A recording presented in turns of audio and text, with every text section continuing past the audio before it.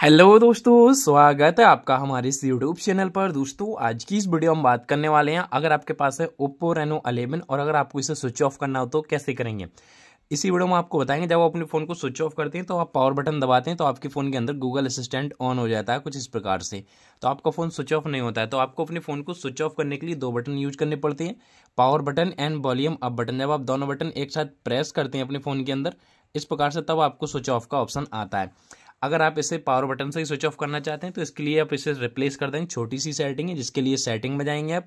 Setting में जाने के बाद स्क्रॉल डाउन करके सबसे नीचे आप जाएँगे एडिशनल सेटिंग में। एडिशनल सेटिंग में जाने के बाद आपको यहाँ मिलेगा पावर बटन पावर बटन पर क्लिक करके फिर से पावर बटन का ऑप्शन आ जाता है। इस पर जाएँगे, यहाँ से मिलेगा पावर मेनू पावर मेनू पे आप इसे सेट कर देंगे और यहाँ से आप बैक आ जाएँगे। इसके बाद आप अपने पावर बटन को प्रेस करेंगे, तब आपको यहाँ स्विच ऑफ़ का ऑप्शन आ जाता है। तो यहाँ से आप अपने फ़ोन को नीचे करेंगे तो स्विच ऑफ़ हो जाएगा, ऊपर को करेंगे तो आप इसे रीस्टार्ट कर सकते हैं। तो इस प्रकार से अपने फ़ोन को आप स्विच ऑफ़ कर सकते हैं। अगर वीडियो अच्छा लगा हो तो लाइक करें शेयर करें।